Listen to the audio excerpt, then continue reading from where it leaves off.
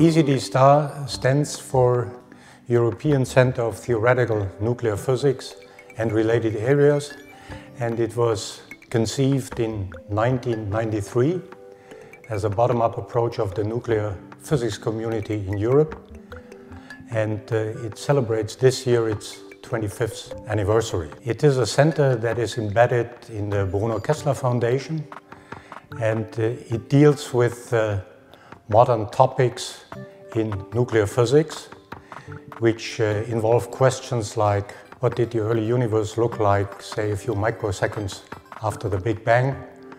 What is the limits of stability of nuclei in the nuclear chart? How are the heavy elements made? For instance, you may know last year two neutron stars merged and there was something like a mass of the Earth created in gold and topics like this also the question of what is the structure of the proton. Uh, these are the research topics that are discussed here at ECT STAR in workshops and visitors programs.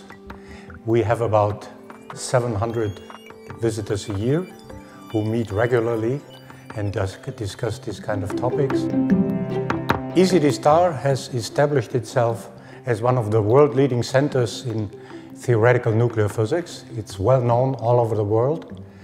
We have a partner institution in the US, in uh, Seattle, which is called the Institute of Nuclear Theory, which is run in a similar spirit as ECT STAR, and these are the two most well-known theory centers in the world for this kind of physics. ECT STAR has been very successful in the last 25 years. We have uh, made major contributions to the development in theoretical nuclear physics. And uh, we also have great interest from the European physics community to continue this. And this is exactly what we want to do. We want to keep moving in similar directions as before. And since these scientific activities here are organized by the community, I'm very hopeful, and I've seen this many times, that all new developments in nuclear physics will be reflected in the programs that are run here. Uh, so this is a very good model uh, for doing, conducting research and making scientific exchange. And uh, there's strong interest to continue funding of this from the European community. And uh, we hope also that we can rely on the generous support of the province of Trentino in the future to run this very successful enterprise here at ECT Star. On August 31st, ECT Star will celebrate this 25th anniversary of a very successful research program.